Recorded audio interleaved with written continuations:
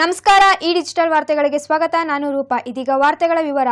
ಮಾಜಿ ಉಪಮುಖ್ಯಮಂತ್ರಿ doctor G Parameshwar ಅವರಿಗೆ ಗ್ರಹಚಾರ ಕೆಟ್ಟಿದ್ದರಿಂದಲೇ ಅವರ ನಿವಾಸ ಹಾಗೂ ಶಿಕ್ಷಣ ಸಂಸ್ಥೆ ಮೇಲೆ ಐಟಿ ದಾಳಿ ನಡೆದಿದೆ ಎಂದು ಮಾಜಿ ಶಾಸಕ ಕೆಎನ್ ರಾಜಣ್ಣ ಪ್ರತಿಕ್ರಿಯಿಸಿದ್ದಾರೆ. ರಾಜ್ಯದ ಮಾಜಿ ಉಪಮುಖ್ಯಮಂತ್ರಿ ಡಾಕ್ಟರ್ ಜಿ ಪರಮೇಶ್ವರ್ ಅವರಿಗೆ ಗ್ರಹಚಾರ ಕೆಟ್ಟಿದ್ದರಿಂದಲೇ ಅವರ ನಿವಾಸ ಹಾಗೂ ಶಿಕ್ಷಣ ಸಂಸ್ಥೆಗಳ ಮೇಲೆ ಆದಾಯ ತೆರಿಗೆ ಅಧಿಕಾರಿಗಳು ದಾಳಿ ಮಾಡಿದ್ದಾರೆ ಎಂದು ಮಾಜಿ ಶಾಸಕ ಕೆಎನ್ ರಾಜಣ್ಣ ಪ್ರತಿಕ್ರಿಯಿಸಿದರು. ತುಮಕೂರಿನ ಕನ್ನಡ ಭವನದಲ್ಲಿ ನಡೆದ ಕಾರ್ಯಕ್ರಮದಲ್ಲಿ ಪಾಲ್ಗೊಂಡ ನಂತರ ತಮ್ಮನ್ನು ಭೇಟಿಯಾದ ಸುದ್ದಿಗಾರರಿಗೆ ರಾಜಣ್ಣರವರು ಈ ರೀತಿ ಪ್ರತಿಕ್ರಿಯಿಸಿದರು.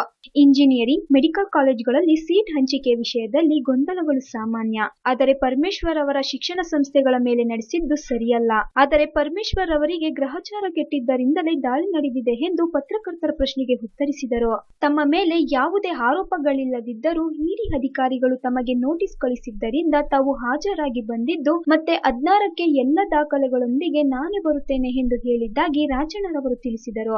ಮುನ್ನೂರು ಕೋಟಿ ರು ಸಾಲ ನೀಡಲಾಗಿದೆ ಎಂದು ಅಪಪ್ರಚಾರ ಆಗುತ್ತಿದ್ದು, ಇನ್ನೂರ ಹದಿನೈದು ಕೋಟಿ ರು ಸಾಲ ನೀಡಲಾಗಿದ್ದು, ಎರಡ್ ಸಾವಿರದ ಹದಿನಾಲ್ಕರಿಂದಲೂ ಲಕ್ಷ್ಮಿ ಹೆಬ್ಬಾಳಕರ್ ಅವರಿಗೆ ಹಂತ ಹಂತವಾಗಿ ನೀಡಲಾಗಿದೆ ಎಂದರು. ನಿಯಮಾವಳಿ ಪ್ರಕಾರವೇ ಸಾಲ ನೀಡಲಾಗಿದ್ದು, ಇದರಲ್ಲಿ ಯಾವುದೇ ಗೊಂದಲವಿಲ್ಲವೆಂದು ರಾಜಣ್ಣರವರು ಸ್ಪಷ್ಟಪಡಿಸಿದರು. ಈಗ ಅವರು ನೋಟಿಸ್ ಕೊಟ್ಟಲ್ಲಿ ಯಾವ್ದ್ರ ಬಗ್ಗೆ ಅಂತ ಏನು ಹೇಳಿರ್ಲಿಲ್ಲ. ನಾನು ಊಹೆ ಮಾಡ್ಕೊಂಡು ಹೋಗಿದ್ದು ಹರ್ಷ ಶುಗರ್ಸು ಲಕ್ಷ್ಮಿ ಹೆಬ್ಬಾಳ್ಕರ್ದು ಅಂತ ಹೇಳಿ ನಾನು ತಿಳ್ಕೊಂಡು ಹೋಗಿದ್ದು. ಅದು ಸತ್ಯನೇ ಆಯಿತು. ಅದ್ರ ಬಗ್ಗೆನೇ ಮಾಹಿತಿ ಕೇಳಿ. ಕೆಲವು ದಾಖಲೆಗಳನ್ನು ತೆಗೆದುಕೊಂಡು ಹೋಗಿದ್ದೆ. ಆ ಸಂಬಂಧಪಟ್ಟಲ್ಲಿ ಇನ್ನು ಕೆಲವು ಬೇರೆ ಸಂಬಂಧಪಟ್ಟಂಗೆ ದಾಖಲೆಗಳು ಕೇಳಿದ್ರು. ಆ, ದಾಖಲೆಗಳನ್ನೆಲ್ಲ ಹೊಂಚ್ಕೊಂಡು ಇನ್ನೊಂದು ವಾರದಲ್ಲಿ ಬರ್ತೀನಿ ಅಂತ ಹೇಳಿ ಬಂದೆ. ಅವರೇ ನನಗೆ ಸಮಸ್ಯೆ ಏನಿಲ್ಲ. ನಾನೇ ಅವರಿಗೆ ಹದಿನೈದು ಹದಿನಾರನೇ ತಾರೀಕಲ್ಲಿ ಬರ್ತೀನಿ ಅಂತ ಹೇಳಿದ್ದೀನಿ. ಅದಕ್ಕೆ ಸಿಕ್ಸ್ಟೀನ್ತು ಹೋಗ್ತಾ ಇದ್ದೀನಿ. ಹೋಗ್ತೀನಿ ಸಿಕ್ಸ್ಟೀನ್ತು ಮಾಮೂಲಿ ಕೂಡಿಸ್ಕೊಂಡಿರ್ತಾರೆ ಒಂದು ಗಂಟೆ ಹೊತ್ತು ಅದು ಇದು ಕೇಳ್ತಾ ಇರ್ತಾರೆ ಸಂಜೆ ಹೋದರೆ. ಸಂಜೆ ಆದ್ಮೇಲೆ ಅವ್ರ ದಾಖಲೆಗಳೆಲ್ಲ ಕೊಟ್ಬಿಟ್ಟು ಅದರಲ್ಲಿ ನಮ್ಮ ಮೇಲೆ ಯಾವುದೇ ರೀತಿಯ ಆರೋಪಗಳು ಏನಿಲ್ಲ. ಮತ್ತು ಮಾಧ್ಯಮದಲ್ಲಿ ಮುನ್ನೂರು ಕೋಟಿ ಕೊಟ್ಟವ್ರೆ, ನಾನ್ನೂರು ಕೋಟಿ ಕೊಟ್ಟವ್ರೆ, ಅವೆಲ್ಲ ಸುಳ್ಳು. ಕೊಟ್ಟಿರ್ತಕ್ಕಂಥದ್ದು ಕನ್ಸಾರ್ಷಿಯಂ ಬ್ಯಾಂಕರ್ಸ್ ಕೊಟ್ಟಿರ್ತಕ್ಕಂಥದ್ದು, ಎಲ್ಲ ಬ್ಯಾಂಕ್ ಸೇರಿ. ಬಾಗಲಕೋಟೆ, ಬಿಜಾಪುರ, ನಾರ್ತ್ ಕೇಂದ್ರ, ಸೌತ್ ಕೇಂದ್ರ, ತುಮಕೂರು ಜಿಲ್ಲಾ ಬ್ಯಾಂಕು, ಅಪೆಕ್ಸ್ ಬ್ಯಾಂಕು ಎಲ್ಲ ಸೇರಿ ಕೊಟ್ಟಿರ್ತಕ್ಕಂಥದ್ದು. ಅದು ಬ್ಯಾಂಕ್ಗಳ ಸಮೂಹ ವ್ಯವಸ್ಥೆ ಅಡಿಯಲ್ಲಿ ಕೊಟ್ಟಿರ್ತಕ್ಕಂಥ ಸಾಲ ಇನ್ನೂರ ಹದಿನೈದು ಕೋಟಿ. ಈಗ ಪರಮೇಶ್ವರ ಮೇಲೆ ಪರಮೇಶ್ವರ್ ಐಟಿ ದಾಳಿ ಆದ್ರೆ ನಾನು ಅದಕ್ಕೆ ಉತ್ತರ ಏನು ಹೇಳಂಗಿಲ್ಲ. ಈ- ಈ ಹಿಂದೆ ನೀವೊಂದ್ಸಲ ಸಲ ಆ, ಅವ್ರ ಬಗ್ಗೆ ಮಾತಾಡ್ತಾ. ಜಾಸ್ತಿ ಆಸ್ತಿ ಮಾಡಿದ್ದಾರೆ ಅಂತ ಒಂದು ಮಾತು ಹೇಳಿದ್ರಿ. ನಿಮ್ಗೆ ಗೊತ್ತಿಲ್ವಾ? ನಿಮಗೆ ಗೊತ್ತಿರೋದು ನನ್ನ ಕೇಳ್ತೀರಿ ಈ ಯಾರು- ಮಾತಿನ ಪ್ರಭಾವ ಬೀರ್ಬೋದು? ಏ ಸಿ ಇವ್ರೊಬ್ರೆ ಮಾಡೋದಲ್ಲ. ಮೆಡಿಕಲ್ ಕಾಲೇಜ್ ಇರೋ ಮಹಾಶೇರಿ ಎಲ್ಲ ಮಾಡಿದ್ದಾರೆ. ಯಾವ ಸ್ವಾಮಿ ಮೆಡಿಕಲ್ ಕಾಲೇಜ್ ನಡೆಸ್ತಲ್ಲ ಅವ್ರೇ ಬಿಟ್ಟವರು. ಎಲ್ಲರೂ ಮಾಡಿರ್ತಾರೆ ಸುಮ್ಮನೆ ಯಾವ ಗ್ರಾಚಾರ ಯಾರಿಗೆ ಗ್ರಾಚಾರ ಇರ್ತದೆ ಅವನ್ ತಗಲಾಕತ್ತಾನ ಅಷ್ಟೇ. ನಡೀರಿ.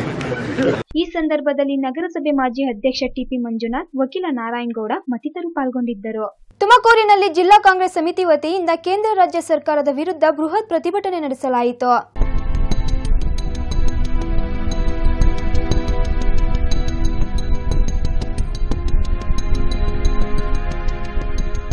ಮಾಜಿ ಉಪಮುಖ್ಯಮಂತ್ರಿ ಹಾಗೂ ಹಿರಿಯ ಕಾಂಗ್ರೆಸ್ ಮುಖಂಡ ಡಾಕ್ಟರ್ ಜಿ ಪರಮೇಶ್ವರ್ ಅವರ ನಿವಾಸ ಹಾಗೂ ಸಿದ್ಧಾರ್ಥ ಶಿಕ್ಷಣ ಸಂಸ್ಥೆಗಳ ಮೇಲೆ ಐಟಿ ದಾಳಿ ನಡೆಸಿದ್ದನ್ನು ಖಂಡಿಸಿ ತುಮಕೂರಿನಲ್ಲಿ ಕಾಂಗ್ರೆಸ್ ಕಾರ್ಯಕರ್ತರು ಬೃಹತ್ ಪ್ರತಿಭಟನೆ ನಡೆಸಿದರು. ತುಮಕೂರು ಜಿಲ್ಲಾ ಕಾಂಗ್ರೆಸ್ ಅಧ್ಯಕ್ಷ ರಾಮಕೃಷ್ಣ ನೇತೃತ್ವದಲ್ಲಿ ಪಕ್ಷದ ಮುಖಂಡರು ಹಾಗೂ ಕಾರ್ಯಕರ್ತರು ಪಕ್ಷದ ಕಚೇರಿಯಿಂದ ಟೌನ್ ವೃತ್ತದವರೆಗೆ ಕೇಂದ್ರ ರಾಜ್ಯ ಸರ್ಕಾರದ ವಿರುದ್ಧ ಘೋಷಣೆ ಕೂಗುತ್ತಾ ಪ್ರತಿಭಟನೆ ಮೆರವಣಿಗೆ ನಡೆಸಿದರು. ಟೌನ್ ವೃತ್ತದಲ್ಲಿ ಮಾನವ ಸರಪಳಿ ನಡೆಸಿ ಕೇಂದ್ರ ಸರ್ಕಾರದ ವಿರುದ್ಧ ಆಕ್ರೋಶ ವ್ಯಕ್ತಪಡಿಸುತ್ತಾ ರಸ್ತೆಯಲ್ಲೇ ಮಲಗಿ ವಿನೂತನವಾಗಿ ಪ್ರತಿಭಟಿಸಿ ಆನಂತರ ನಂತರ ಟೈರುಗಳಿಗೆ ಬೆಂಕಿ ಹಚ್ಚಿ ಆಕ್ರೋಶ ವ್ಯಕ್ತಪಡಿಸಿದರು. ಈ ವೇಳೆ ಪೊಲೀಸರು ಕೆಲ ಕಾಂಗ್ರೆಸ್ ಮುಖಂಡರನ್ನು ಬಂಧಿಸಿ ಆನಂತರ ನಂತರ ಬಿಡುಗಡೆ ಮಾಡಿದರು. ಜಿಲ್ಲಾ ಕಾಂಗ್ರೆಸ್ ಮಾಜಿ ಅಧ್ಯಕ್ಷ ಕೆಂಚಮಾರಯ್ಯ, ಮುಖಂಡರುಗಳಾದ ವಾಲೆಚಂದು, ಚಂದ್ರಶೇಖರ್ ಗೌಡ, ಅತೀಕ್ ಅಹಮದ್, ಇಕ್ಬಾಲ್ ಅಹಮದ್, ವೆಂಕಟಚಲಪತಿ ಎಡಿ ಬಲರಾಮಯ್ಯ, ಆಟೋರಾಜು ರೇವಣ್ ಸಿದ್ದಯ್ಯ ಮಂಜುನಾಥ್ ಮತ್ತಿತರು ಪಾಲ್ಗೊಂಡಿದ್ದರು. ಬಿಜೆಪಿ ಸರ್ಕಾರಕ್ಕೆ ರಾಮವಾದಿ ಸರ್ಕಾರಕ್ಕೆ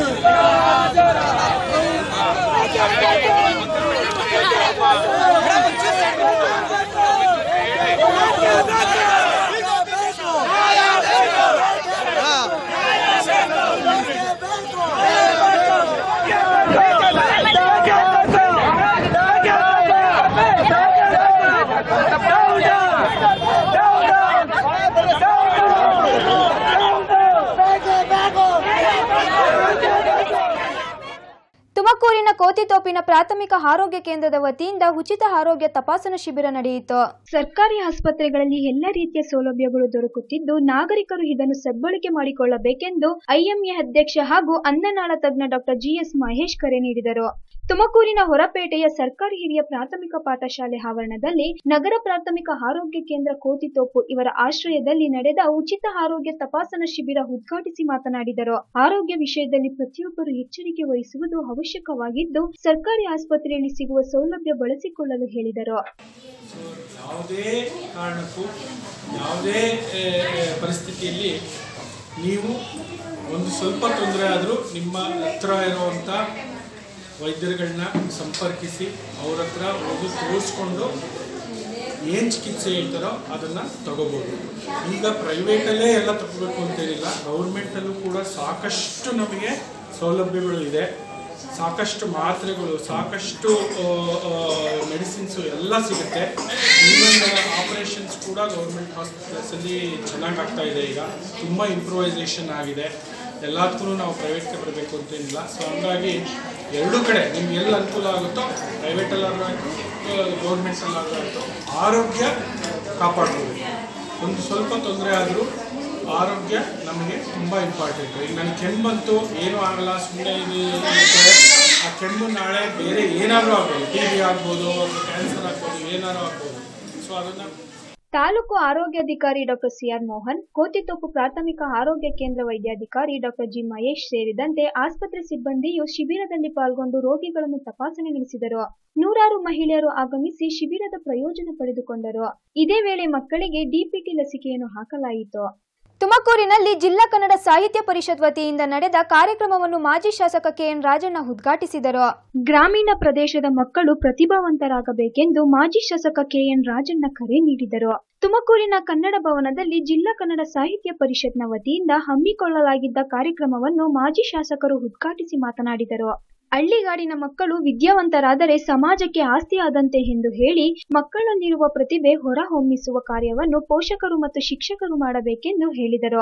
ವಿದ್ಯಾ ಸಾಧಕ ಶಕ್ತಿ ಇದ್ದಂತೆ ಈ ವಿದ್ಯೆಯನ್ನು ಯಾರು ಕದಿಯಲು ಸಾಧ್ಯವಿಲ್ಲ. ಆದ್ದರಿಂದ ಶಿಕ್ಷಣಕ್ಕೆ ಹೆಚ್ಚಿನ ಆದ್ಯತೆ ನೀಡಬೇಕಿದೆ ಎಂದರು. ಆತ್ಮಸ್ಥೈರ್ಯ, ಮನಸ್ಸಿನಲ್ಲಿ ದೃಢವಾದಂತಹ ನಿರ್ಧಾರ ಮತ್ತೆ ನಿಮ್ಮ ನಡವಳಿಕೆ ಯಾವಾಗಲೂ ಕೂಡ ಸಮಾಜದ ಯಾರೇ ಆದರೂ ಕೂಡ ಮೆಚ್ಚುವಂತೆ ಇರಬೇಕು. ಆಗ ನೀವು ಉತ್ತಮ ಗುಣವಂತರು ಆಗ್ತೀರಿ, ಉತ್ತಮ ವಿದ್ಯಾವಂತರು ಆಗ್ತೀರಿ. ಸಮಾಜಕ್ಕೆ ನೀವು ಒಂದು ಆಸ್ತಿಯಾಗಿ ಪರಿವರ್ತನೆ ಆಗ್ತೀರಿ. ನೀವು ಒಳ್ಳೆ ವಿದ್ಯಾವಂತರಾದರೆ ಸಮಾಜಕ್ಕೆ ಒಂದು ದೊಡ್ಡ ಕೊಡುಗೆ, ಸಮಾಜಕ್ಕೆ ನೀವೆಲ್ಲ ದೊಡ್ಡ ಆಸ್ತಿಯನ್ನ ನೀವಾಗಿ ನೀವೇ ಆಸ್ತಿಯಾಗಿ ಪರಿವರ್ತನೆಯನ್ನ ಆಗ್ತಕ್ಕಂಥದ್ದು ಉತ್ತಮ ಗುಣವಂತರು ಮತ್ತು ಉತ್ತಮ ವಿದ್ಯಾವಂತಿಕೆಯಿಂದ ಸಾಧ್ಯ ಆಗ್ತದೆ. ಅದನ್ನ ನೀವೆಲ್ಲ ಗಳಿಸ್ತೀರಿ ಅಂತಕ್ಕಂಥ ವಿಶ್ವಾಸವನ್ನು ನಾನು ವ್ಯಕ್ತಪಡಿಸ್ತೇನೆ. ಆ ಗಳಿಸ್ತಕ್ಕಂಥದ್ದಕ್ಕೆ ಪ್ರೋತ್ಸಾಹ ಕೊಡ್ತಕ್ಕಂಥದ್ದು ಈ ರೀತಿಯ ಪ್ರತಿಭಾ ಪುರಸ್ಕಾರ ಇರ್ಬೋದು. ಅವರನ್ನ ಕರೆಸಿ ಪ್ರೋತ್ಸಾಹ ಕೊಡೋದ್ರಿಂದ ಬೇರೆ ಮಕ್ಕಳಲ್ಲೂ ಕೂಡ ಒಂದು ರೀತಿಯ ಛಲ ವಿಶ್ವಾಸ ಬರ್ತದೆ. ಇದೇ ಸಂದರ್ಭದಲ್ಲಿ ಜಿಲ್ಲಾ ಕಸಪದಿಂದ ರಾಜಣ್ಣರವರನ್ನು ಸನ್ಮಾನಿಸಲಾಯಿತು. ಎರಡ್ ಸಾವಿರದ ಹತ್ತೊಂಬತ್ತನೇ ಸಾಲಿನಲ್ಲಿ ಎಸ್ಎಲ್ಸಿ ಮತ್ತು ಪಿಯುಸಿಯಲ್ಲಿ ಕನ್ನಡ ಭಾಷಾ ಪರೀಕ್ಷೆಯಲ್ಲಿ ಪೂರ್ಣಾಂಕ ಗಳಿಸಿದ ವಿದ್ಯಾರ್ಥಿಗಳನ್ನು ಗೌರವಿಸಲಾಯಿತು. ಶ್ರೀದೇವಿ ಮೆಡಿಕಲ್ ಕಾಲೇಜಿನ ಪ್ರೊಫೆಸರ್ ಡಾಕ್ಟರ್ ಶಾಲಿನಿ, ಲೇಖಕಿ ಅನ್ನಪೂರ್ಣ ವೆಂಕಟನಂಜಪ್ಪ ಕಸಪ ಪ್ರಮುಖರಾದ Shaila Nagaraj, B Maralaiah, K Ravikumar, H Govindaiah ಮತ್ತಿತರರು ಪಾಲ್ಗೊಂಡಿದ್ದರು. ಜಿಲ್ಲಾ ಕಸಪ ಅಧ್ಯಕ್ಷೆ ಬಾಹ ರಮಾಕುಮಾರಿ ಅಧ್ಯಕ್ಷತೆ ವಹಿಸಿದ್ದರು. ನೆರೆ ಹಾಗೂ ಬರದಿಂದ ರಾಜ್ಯದ ನೂರ ಐವತ್ತಾರು ತಾಲೂಕುಗಳು ತತ್ತರಿಸುತ್ತಿದ್ದರೂ ಸಹ ಕೇಂದ್ರ ರಾಜ್ಯ ಸರ್ಕಾರ ಮೂಲ ಸವಲತ್ತು ನೀಡುವಲ್ಲಿ ವಿಫಲಗೊಂಡಿದೆ ಎಂದು ರೈತ ಸಂಘದ ಜಿಲ್ಲಾಧ್ಯಕ್ಷರು ಆರೋಪಿಸಿದ್ದಾರೆ. ನೆರೆ ಮತ್ತು ಬರದಿಂದ ರಾಜ್ಯದ ನೂರ ಐವತ್ತಾರು ತಾಲೂಕುಗಳು ತತ್ತರಿಸಿದ್ದರೂ ಸಹ ಕೇಂದ್ರ ಮತ್ತು ರಾಜ್ಯ ಸರ್ಕಾರ ಕನಿಷ್ಠ ಪರಿಹಾರ ನೀಡಿ ಮೂಲ ಸವಲತ್ತು ಒದಗಿಸುವಲ್ಲಿ ವೈಫಲ್ಯ ಕಂಡಿದೆ ಎಂದು ರೈತ ಸಂಘದ ಜಿಲ್ಲಾಧ್ಯಕ್ಷ ಎ. ಗೋವಿಂದರಾಜು ಆರೋಪಿಸಿದರು. ಗುಬ್ಬಿಯಲ್ಲಿ ರೈತ ಸಂಘದ ಪೂರ್ವಭಾವಿ ಸಭೆಯಲ್ಲಿ ಮಾತನಾಡಿದ ಅವರು, ಪ್ರವಾಹ ಪೀಡಿತ ಮತ್ತು ಅಕಾಲಿಕ ಮಳೆ ಪ್ರದೇಶಕ್ಕೆ ಹಾಗೂ ಬರ ನಿರ್ವಹಣೆಗೆ ನೆರವು ಒದಗಿಸಲು ನಿರ್ಲಕ್ಷ್ಯ ಕಾಲಿರುವ ಎರಡು ಸರ್ಕಾರವನ್ನು ಗಮನ ಸೆಳೆಯಲು ರೈತ ಸಂಘ ಹಾಗೂ ಹಸಿರು ಸೇನೆ ಸದಸ್ಯರು ಸಾವಿರಾರು ಸಂಖ್ಯೆಯಲ್ಲಿ ಇದೇ ತಿಂಗಳ ಹನ್ನೆರಡರಿಂದ ಹದಿನಾಲ್ಕರವರೆಗೆ ಮೂರು ದಿನಗಳ ಕಾಲ ತಲಕಾವೇರಿಯಿಂದ ಬೆಂಗಳೂರಿಗೆ ವಾಹನ ಜಾಥಾ ನಡೆಸಲಿದ್ದಾರೆ. ಈ ಸತ್ಕಾರ್ಯಕ್ಕೆ ಸ್ವರಾಜ್ ಇಂಡಿಯಾ ಪಕ್ಷ ಬರಮುಕ್ತ ಕರ್ನಾಟಕ ಜನ ಆಂದೋಲನಗಳ ಮಹಾಮೈತ್ರಿ ಸಾಥ್ ನೀಡಲಿದೆ ಎಂದರು. ಉತ್ತರ ಕರ್ನಾಟಕ, ಹೈದರಾಬಾದ್, ಕರ್ನಾಟಕ ಭಾಗದ ನೂರ ಮೂರು ತಾಲೂಕಿನಲ್ಲಿ ನೆರೆ ಹಾವಳಿ ರೈತರಿಗೆ ತೀವ್ರ ಸಮಸ್ಯೆಯನ್ನುಂಟು ಮಾಡಿದೆ. ಕಬ್ಬು, ಅರಿಶಿನ, ದಾಳಿಂಬೆ, ಬಾಳೆ, ದ್ರಾಕ್ಷಿ, ಈರುಳ್ಳಿ, ಸೂರ್ಯಕಾಂತಿ, ಹತ್ತಿ, ಜೋಳ ಹೀಗೆ ಹಲವು ದವಸ ಧಾನ್ಯಗಳು ಮಣ್ಣು ಪಾಲಾಗಿ ಕೋಟ್ಯಾಂತರ ರುಗಳ ನಷ್ಟ ಅನುಭವಿಸಿದ್ದಾರೆ. ಹಳ್ಳಿಗಾಡು ಪ್ರದೇಶಗಳು ಜಲಾವೃತಗೊಂಡು ಮನೆ ಕಳೆದುಕೊಂಡು ರೈತರು ಬೀದಿ ಪಾಲಾಗಿದ್ದಾರೆ. ಈ ಜತೆಗೆ ಕಳೆದ ವರ್ಷ ಭೀಕರ ನೋವು ನಷ್ಟ ಕಂಡಿದ್ದ ಕೊಡಗು ಜಿಲ್ಲೆ ಮರಳಿ ಮತ್ತೆ ಸಂಕಷ್ಟ ಅನುಭವಿಸಿದೆ. ಕೋಟಿಗಟ್ಟಲೆ ಹಣ ಸಂಪಾದಿಸುತ್ತಿದ್ದ ಸಿರಿವಂತ ರೈತರು ತಮ್ಮ ತೋಟ, ಗದ್ದೆ, ಮನೆ ಕಾಣೆಯಾಗಿ ತಲೆ ಮೇಲೆ ಕೈ ಹೊತ್ತು ಕುಳಿತಿದ್ದಾರೆ. ಸಿರಿವಂತರು ಗಂಜಿ ಕೇಂದ್ರದಲ್ಲಿ ತುತ್ತು ಅನ್ನಕ್ಕೆ ಪರದಾಡುತ್ತಿದ್ದಾರೆ. ಈ ಬಗ್ಗೆ ಸರ್ಕಾರ ಕಿಂಚಿತ್ತು ಕಾಳಜಿ ವಹಿಸಿಲ್ಲ ಎಂದು ಆಕ್ರೋಶ ವ್ಯಕ್ತಪಡಿಸಿದರು. ಚಿತ್ರದುರ್ಗ, ಬೆಂಗಳೂರು, ಕೋಲಾರ, ರಾಮನಗರ, ಈ ಭಾಗದ ಜಿಲ್ಲೆಗಳು ಸದಾ ಯಾವತ್ತೂ ಬರಗಾಲದಲ್ಲೇ ಇವೆ. ಸರ್ಕಾರ ಇಂಥ ಒಂದು ಸಂದರ್ಭದಲ್ಲಿ ಸಾಲ ಮನ್ನಾ ಮಾಡೋದನ್ನು ಬಿಟ್ಟು ಬೇರೆ ಬೇರೆ ಸಬೂಬುಗಳನ್ನ ಹೇಳ್ಕೊಂಡು ತಿರುಗಾಡ್ತಕ್ಕಂಥ ಒಂದು ಕಡೆ ನೋಡಿದ್ವಿ. ಮತ್ತೊಂದು ಕಡೆ ಬ್ಯಾಂಕ್ನವರು ಇವತ್ತು ರೈತರ ಕೈಗೆ ಯಾವುದೇ ಫಸಲು ಬಂದಿಲ್ಲ. ಅವ್ರಿಗೆ ಯಾವುದೇ ಹಣ ಕೈ ಸಿಗ್ತಾ ಇಲ್ಲ. ಈ ಒಂದು ಸಂದರ್ಭದಲ್ಲಿ ನೋಟಿಸ್ ಕೊಡ್ತಕ್ಕಂಥದ್ದು, ಮತ್ತೆ ರೈತರ ಮೇಲೆ ಪ್ರಕರಣವನ್ನು ದಾಖಲು ಮಾಡತಕ್ಕಂಥದ್ದು ಕೂಡಲೇ ನಿಲ್ಲಬೇಕು. ಇದು ನಾವು ಈಗಾಗಲೇ ಲೀಡ್ ಬ್ಯಾಂಕ್ ಮ್ಯಾನೇಜರ್ ಜೊತೆ ಹೇಳಿದೀವಿ. ಅವರು ಎಲ್ಲ ಬ್ಯಾಂಕ್ಗಳಿಗೆ ಸುತ್ತೋಲೆಗಳನ್ನು ಕೊಟ್ಟಿದ್ದಾರೆ. ರೈತರ ಮೇಲೆ ಪ್ರಕರಣವನ್ನು ದಾಖಲು ಮಾಡಬೇಡಿ. ರೈತರೇ ಮುಂದೆ ಬಂದರೆ one time settlement O T S ಮಾಡಿ ಅದ್ರ ಮೂಲಕ ಬೇಕಾದ್ರೆ ಸಾಲ ಕಟ್ಟಿದ್ರೆ ಕಟ್ಟಿಸ್ಕೊಳ್ಳಿ ಅಂತಕ್ಕಂಥ ಮಾತನ್ನು ಹೇಳಿದ್ದಾರೆ. ಹಾಗಾಗಿ ಮತ್ತೆ ರೈತರು ಈ ಹಾಲಾಗ್ತಕ್ಕಂಥದ್ದು ಕನಿಷ್ಠ ಏನು ಜೀವನ ಮಾಡಲಿಕ್ಕೆ ಒಂದು ಲೀಟ್ರ್, ಎರಡು ಲೀಟ್ರ್ ಹಾಲಾಗ್ತಕ್ಕಂಥದ್ದು ಮತ್ತೆ ಅಲ್ಲೇ ಅಕೌಂಟ್ ಮಾಡಿರ್ತೀವಿ. ಆ ಹಣವನ್ನು ಇಡ್ಕೊಂತಕ್ಕಂಥದ್ದು ಮತ್ತೆ ಸರ್ಕಾರದಿಂದ ಬಂದಕ್ಕಂಥ ಪ್ರೋತ್ಸಾಹದ ಹಣವನ್ನು ಇಡ್ತಕ್ಕಂಥದ್ದು ಬ್ಯಾಂಕ್ನವರು ನಿಲ್ಲಿಸಬೇಕು. ರೈತರ ಸಣ್ಣ ಸಣ್ಣ ಪರಿಹ ಪರಿಹಾರದ ಹಣಗಳು ಅವು. ಮತ್ತು ಅವರ ಜೀವನಕ್ಕೆ ಅವಶ್ಯಕವಾಗಿ ಬೇಕಾಗಿರ್ತಕ್ಕಂಥ ಪರಿಹಾರ. ಹಾಗಾಗಿ ಬ್ಯಾಂಕ್ನವರು ಅದು ನಿಲ್ಲಿಸಬೇಕು. ಮತ್ತೆ ಕೂಡಲೇ ನಬಾರ್ಡ್ ಮತ್ತು ಲೀಡ್ ಬ್ಯಾಂಕ್ನವರು ಅವರಿಗೆ ಮಾರ್ಗದರ್ಶನ ಮಾಡಬೇಕು. ಇಲ್ಲದೇ ಇದ್ರೆ ನಾವು ಬ್ಯಾಂಕ್ಗಳ ಮುಂದೆ ಎಲ್ಲೆಲ್ಲಿ ಆ ರೀತಿಯ ಅವಘಡಗಳು ಬರ್ತವೆ ಅಂತ ಬ್ಯಾಂಕ್ಗಳ ಮುಂದೆ ನಾವು ಒಂದು ಪ್ರತಿಭಟನೆ ಮಾಡ್ತಕ್ಕಂಥ ಕೆಲಸವನ್ನ ನಾವು ಮಾಡಬೇಕಾಗಿದೆ. ಬಿಜೆಪಿ ಮುಖಂಡ ಬೆಟ್ಟಸ್ವಾಮಿ ವಿರುದ್ಧ ಜಿಲ್ಲಾ ಕಾಂಗ್ರೆಸ್ ಕಾರ್ಯದರ್ಶಿ ಬಿಆರ್ ಭರತ್ ಗೌಡರವರು ಗುಬ್ಬಿಯಲ್ಲಿ ವಾಗ್ದಾಳಿ ನಡೆಸಿದ್ದಾರೆ. ಬಿಜೆಪಿ ಮುಖಂಡ ಬೆಟ್ಟಸ್ವಾಮಿ ಗುಬ್ಬಿ ಶಾಸಕರ ವಿರುದ್ಧ ಆರೋಪ ಮಾಡುವ ಬರದಲ್ಲಿ ಕಾಂಗ್ರೆಸ್ ಪಕ್ಷದ ಅಭ್ಯರ್ಥಿಯು ಹಣಕ್ಕೆ ಮಾರಾಟವಾಗಿದ್ದಾರೆ ಎಂದಿದ್ದಾರೆ. ಈ ಬಗ್ಗೆ ಸಾಕ್ಷ್ಯ ಒದಗಿಸಬೇಕು. ಇಲ್ಲವಾದಲ್ಲಿ ಹೋರಾಟ ನಡೆಸಿ ಪ್ರಶ್ನಿಸಲಾಗುವುದು ಎಂದು ಜಿಲ್ಲಾ ಕಾಂಗ್ರೆಸ್ ಕಾರ್ಯದರ್ಶಿ ಬಿಆರ್ ಭರತ್ಗೌಡ ಎಚ್ಚರಿಸಿದರು. ಗುಬ್ಬಿಯಲ್ಲಿ ಸುದ್ದಿಗೋಷ್ಠಿಯನ್ನುದ್ದೇಶಿಸಿ ಮಾತನಾಡಿದ ಅವರು, ಈ ಮೊದಲು ಕಾಂಗ್ರೆಸ್ ಪಕ್ಷದ ಬಾಗಿಲು ಬಡೆದವರು ಬಟ್ಟೆಸ್ವಾಮಿ ಎಂಬುದು ಎಲ್ಲರಿಗೂ ತಿಳಿದಿದೆ. ಶಾಸಕರೊಟ್ಟಿಗೆ ವೈಯಕ್ತಿಕ ಆರೋಪ ಮಾಡುವ ಬಗ್ಗೆ ಕಾಂಗ್ರೆಸ್ ಪಕ್ಷ ಚರ್ಚೆ ಬೇಕಿರಲಿಲ್ಲ. ಕಾಂಗ್ರೆಸ್ ಅಭ್ಯರ್ಥಿಯಾಗಿದ್ದ ಬಾಲಾಜಿ ಕುಮಾರ್ ಈ ಹಿಂದೆ ಬಿಜೆಪಿಯುತ್ತ ಮುಖ ಮಾಡಿದಾಗ ಅವರ ಹಣವನ್ನು ಬಿಜೆಪಿಗೆ ಹಿಂದುಳಿದ ವರ್ಗಗಳ ಮೋರ್ಚಾ ಸಮಾವೇಶಕ್ಕೆ ಬಳಸಿಕೊಂಡಿದ್ದರು. ಅವರ ಆರ್ಥಿಕ ನೆರವು ಪಡೆದು ಬಿಜೆಪಿ ಹಿಂದುಳಿದ ವರ್ಗಗಳ ಮುಖಂಡರು ಅವರ ವಿರುದ್ಧ ದೂರುವುದು ಎಷ್ಟರ ಮಟ್ಟಿಗೆ ಸರಿ ಎಂದು ಮಾರ್ಮಿಕವಾಗಿ ಪ್ರಶ್ನಿಸಿದರು. ಜಾತಿ ಹೆಸರಿನಲ್ಲಿ ತಾಲೂಕಿನ ರಾಜಕಾರಣ ಆರಂಭ ಮಾಡಿದ ಬೆಟ್ಟಸ್ವಾಮಿ ಅವರು ವೆಜ್ ಮತ್ತು ನಾನ್ ವೆಜ್ ಎಂದು ಎರಡು ಭಾಗಗಳನ್ನ ಮಾಡಿ ಜಾತಿ ಚುನಾವಣೆಗೆ ನಡೆಸುವುದನ್ನು ಎಲ್ಲರಿಗೂ ಕಲಿಸಿದರು. ಈಗ ಕಾಂಗ್ರೆಸ್ ಪಕ್ಷದ ಮೇಲೆ ಗೂಬೆ ಕೂರಿಸುವ ಕೆಲಸ ಮಾಡುತ್ತಿದ್ದಾರೆ. ನಿಮ್ಮ ವೈಯಕ್ತಿಕಗಳಿಗೆ ರಾಷ್ಟ್ರೀಯ ಪಕ್ಷ ಕಾಂಗ್ರೆಸ್ ಬಗ್ಗೆ ಮಾತನಾಡುವ ನೈತಿಕತೆ ನಿಮಗಿಲ್ಲ ಎಂದ ಅವರು, ಜೀತ ಪದ್ಧತಿ ಕಾನೂನು ರೀತಿ ಅಪರಾಧವಾಗಿದೆ. ಜೀತಕ್ಕೆ ಕರೆಯುವ, ಸವಾಲಿಸುವ ಬೆಟ್ಟಸ್ವಾಮಿ ಅವರಿಗೆ ಕಾನೂನು ಪರಿ ತಿಳಿದಿಲ್ಲ. ಜಿಲ್ಲಾ ಮುಖಂಡರೆನಿಸುವ ಮುನ್ನ ಮಾತಿನ ಮೇಲೆ ನಿಗಾ ಇರಬೇಕು. ಕಾಂಗ್ರೆಸ್ ಅಭ್ಯರ್ಥಿ ಪರ ಕೆಲ ಪಂಚಾಯಿತಿ ವ್ಯಾಪ್ತಿಯಲ್ಲಿ ಹಣ ಹಂಚಿದ ಬಿಜೆಪಿಯ ಬೆಟ್ಟಸ್ವಾಮಿ ಅವರು ಕಾಂಗ್ರೆಸ್ ಮತಗಳಿಗೆ ಪ್ರಾಶಸ್ತ್ಯ ನೀಡಿದರ ಮರ್ಮ ಎಲ್ಲರಿಗೂ ತಿಳಿದಿದೆ ಎಂದರು. ಒಬ್ಬ ರಾಷ್ಟ್ರೀಯ ಪಕ್ಷದಿಂದ ಎರಡು ಸಲ ಟಿಕೆಟ್ ತಗೊಂಡು ನಿಂತಿರುವಂತಹ ಬೆಟ್ಟಸ್ವಾಮಿ ಅವರು ರಾಷ್ಟ್ರೀಯ ಪಕ್ಷದ ಅಭ್ಯರ್ಥಿನ ದುಡ್ಡು ಕೊಟ್ಟು ಮತ್ತೆ ಜಾತಿ ಚುನಾವಣೆ ಮಾಡಿ ವಾಸೂರು ಎಲೆಕ್ಷನ್ ಗೆದ್ದಿದ್ದಾರೆ ಅಂತ ಹೇಳಿದ್ದಾರೆ. ಈಗ ಅವ್ರು ಹೇಳಿರೋದು ಸ್ವಾಗತಾರ್ಹ ಆದ್ರೆ ಅವ್ರು ಅದನ್ನ ಪ್ರೂವ್ ಮಾಡಬೇಕಾಗುತ್ತೆ.